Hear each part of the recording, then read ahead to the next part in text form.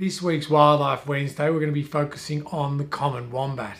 I know it's not an animal you find immediately in your backyard. Uh, it is if you live in country Victoria and uh, New South Wales.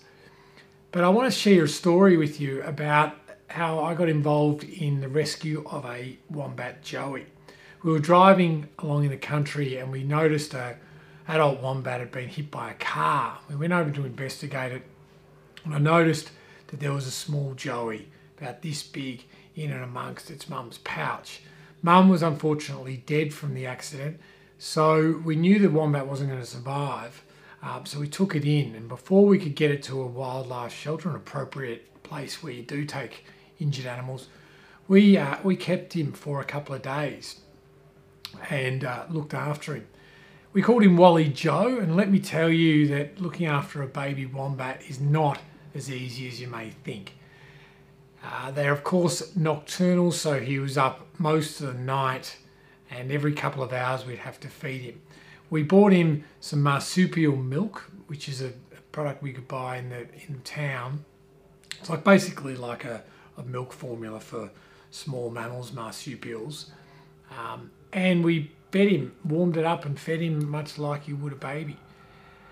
Uh, it was a really cool experience to have him around, don't get me wrong, but it certainly isn't a lot of hard work. So when we found the appropriate wildlife shelter, uh, unfortunately I can't promote them, I can't even talk about their name for bureaucracy reasons.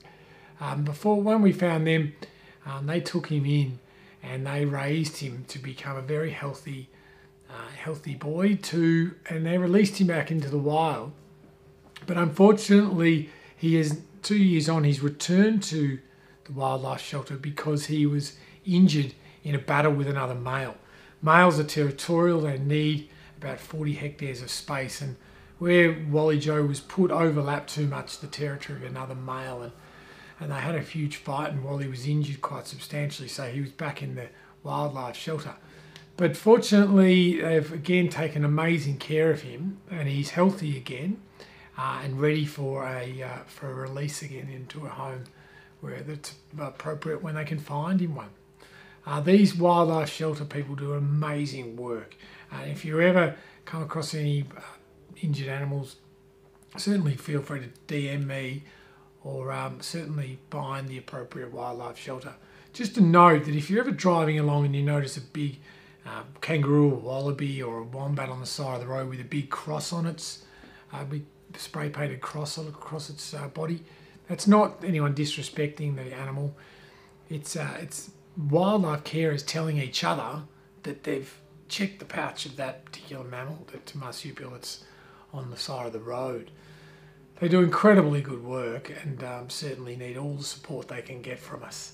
Anyway, thanks for listening to my story about how I was involved in the survival of Wally Joe.